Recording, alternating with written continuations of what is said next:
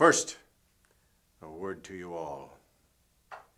In this world, there is no such thing as love, no hope, nothing under God. There is only materialism, selfishness, monopolization, and greed. What we see on TV is the selling of misery to the highest bidder.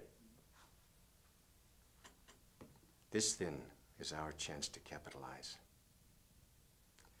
We will spread POLYSICS across the world to create global fear and chaos.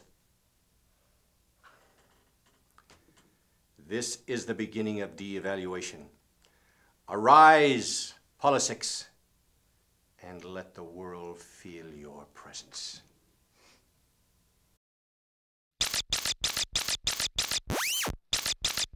One, two, three.